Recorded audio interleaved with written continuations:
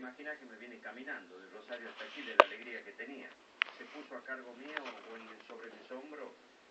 la parte musical, siempre respetando la opinión de cada uno de los otros, porque el capitán del barco era